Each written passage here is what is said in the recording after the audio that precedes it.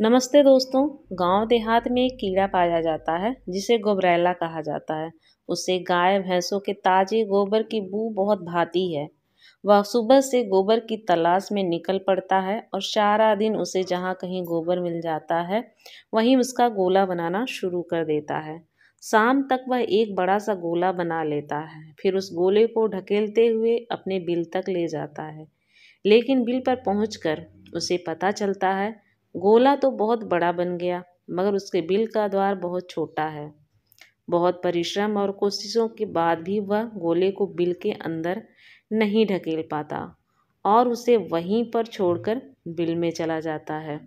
यही हाल हम मनुष्यों का भी है। पूरी ज़िंदगी हम दुनिया भर का मलमत्ता जमा करने में लगे रहते हैं।